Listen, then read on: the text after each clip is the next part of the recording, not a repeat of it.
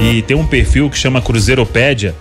Ele me mandou que nunca na história o Cruzeiro precisou de tantos jogos para fazer a quantidade de gols que tem, ou seja, é o pior ataque da história do Cruzeiro. E tá todo mundo ali recebendo chance, sim, e jogo sim, jogo também.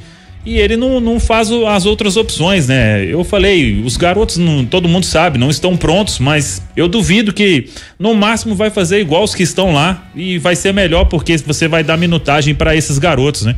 E foi a pergunta que eu fiz, aí ele falou e que tá pensando, essas coisas todas, mas o ataque do Cruzeiro é, é uma coisa é absurda. E eu já vou falar uma, uma situação aqui. O Bruno Rodrigues ele estava suspenso, mas um jogador que tem oito gols na temporada e seis assistências, ele não pode ser banco em hipótese alguma com essas opções que o Cruzeiro tem hoje. O Bruno Rodrigues precisa voltar a ser titular. Vai ser a solução?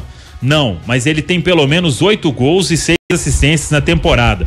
Se tem alguma coisa a ver com o fato dele ter pensado naquele momento em sair, não saiu e ficou e, e não vai ficar pro ano que vem porque tá emprestado, isso entra em segundo plano. O plano agora é salvar o Cruzeiro, deixar o Cruzeiro na Série A do Campeonato Brasileiro.